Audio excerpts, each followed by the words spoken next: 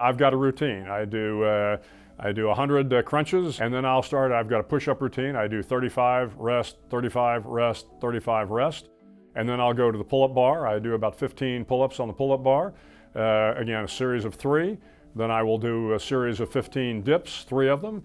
I hit the weights in between, I also have a, uh, a uh, BOB, the, the body opponent bag. It's a torso uh, punching bag. I also like to li lift weights. We didn't actually lift a lot of weights in SEAL training because there were so many of us at a SEAL team or in a SEAL training class, you just couldn't set up a, a circuit.